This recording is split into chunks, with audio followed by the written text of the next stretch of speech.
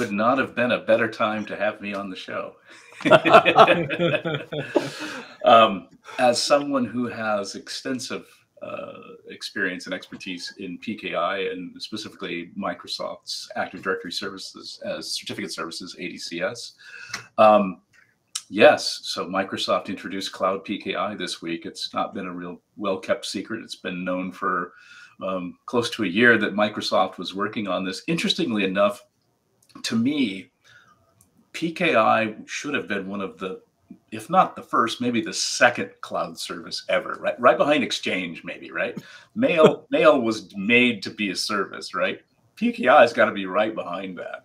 And I was always amazed that just they never seemed to pay attention to it. But now that they're trying to, you know, get as many people over to Azure and cloud services as they possibly can, they've they're they're focusing on any of those legacy anchors, anything that ties customers to on premises, right? Let's build a cloud service so that we can ease migration to the cloud.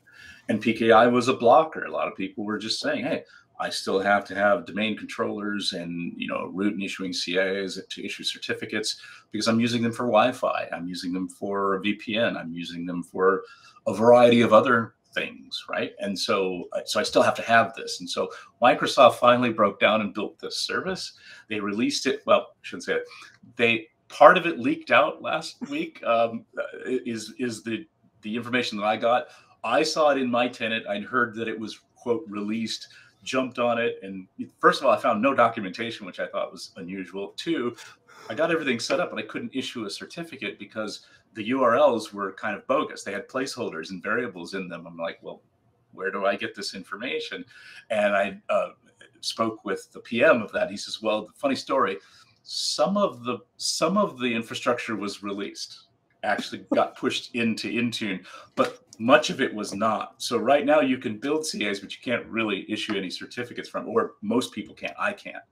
Um, and so anyway, so it's interesting. So I've, I've got it all set up. I haven't issued a certificate because I can't do that just yet. Uh, what we hear is that tomorrow, Mar- or third Friday, March 1st, it's supposed to be formally released. They're going to, as they put it, backfill the rest of the services that support the front end now, and then you'll actually fully work. So I'm looking forward again to maybe this Friday being able to get in there and actually issue some certificates and, and do some documentation and some other evaluation testing. But right now, it looks fantastic. I will caution you and your audience that it is. Um, don't think that you'll be able to, you know, ditch your ADCS infrastructure just yet. You may be able to. It depends on what you're doing with it. Uh, if you're using it for very basic purposes, things like uh, client user and device authentication for things like Wi-Fi and VPN, probably the two most common workloads. Um, fantastic. This is going to work very well for you. Uh, if you are using it for code signing, document signing, uh, server certificates like TLS, web servers, and things like that, this solution is not for you. Cloud PKI is also limited to um, Intune managed devices. So you can only issue certificates to devices under Intune management.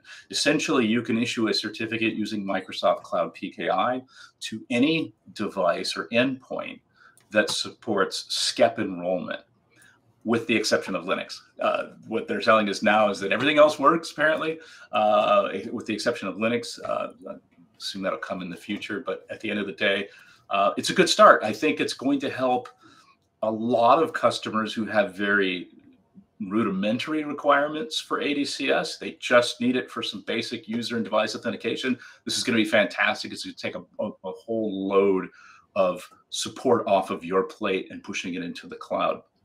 Um, if you have more advanced requirements and you're you're doing more uh, you know advanced things, maybe it's not for you. It could also be that it augments or supplements your existing PKI. Cloud PKI does have the ability to uh, they call it BYOCA, so bring your own CA. So today in Cloud PKI, you can create a root CA and an issuing CA. And by the way, you have to do that. You have to create a two-tier PKI, and you can only issue certificates from the issuing CA. You can't issue from the root. But at the end of the day, that's all you get is um, root issuing. You can't create a multi-tier PKI for there, there may be a variety of reasons you want to do that. Um, you can create multiple issuing CAs, of course. You can create multiple hierarchies. I could have multiple roots with issuing CAs under them. But again, BYOCA means I could have a cloud PKI issuing CA that is chained to my on-premises root CA. And I find that an intriguing option because we may have customers out there who use their their internal PKI ADCS infrastructure for a wide variety of things. But this might work well and be well suited to the specific use case of I need to get you know user and device authentication certificates to my Intune managed clients. Let's you know let's go and, and move that there. I can uh, basically um, have an issuing CA tied to my root CA. And the beauty there is that I don't have to redeploy a root. I don't have to redeploy the the root of trust and, and all those certificates. And um, it looks like it's going to, you know, that'll be a, probably a workable option as well. But just just remember, there's a lot of things that it, it can do unfortunately, there's a lot of things it can't do either. For today, for example, today it supports only RSA certificates. So if you have any requirement for Suite B algorithms, specifically elliptic curve EC cryptography, doesn't support that. Um, there's a handful of other things like it doesn't have certificate templates like traditional ADCS does. So you control um, issuance policies basically through the SCEP profile in Intune. So anyway, I think it's going to be good. I, I, I, think there's a lot of people that are uh, maybe inflating its value because they, they don't realize it, it, what the limitations are yet.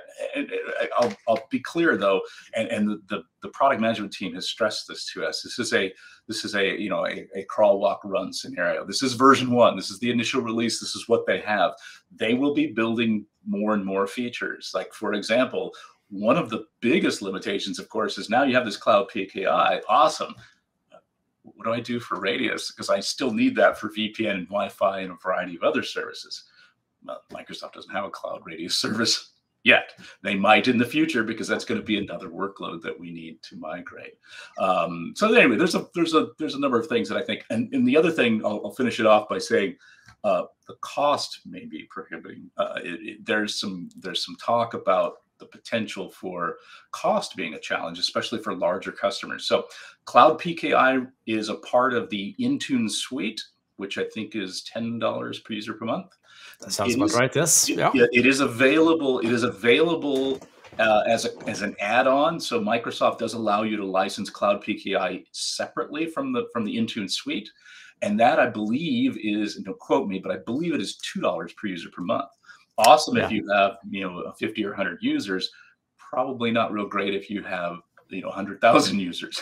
so um, that cost, and, and, I've seen some of the numbers floating around. It's like, well, this is going to be cost me over a million dollars a year. I'm pretty sure I can stand up my own ADCS and hire a team to manage it uh, for much less than that. So anyway, uh, we'll see how that plays out. You know, I'm not a licensing expert. I don't know how all that works, but at the end of the day, there are some potential you know drawbacks to the solution but overall i think it's going to be uh, going to be positive yeah I, I, was following a few threads on, on twitter on that topic as well where, where the, the cost was one of the main discussion yeah. points and basically comparing this okay what other solutions are there out there that also are cloud based uh, like yes. SCEPman and others so like all mm-hmm. right, so so I, I think we will it would be great to see it in general competition drives yeah. uh, yeah good stuff. Uh, it yeah. would be pretty bad if it was only one vendor to, to, to, supply anything. It, it's it, it's useful for the good.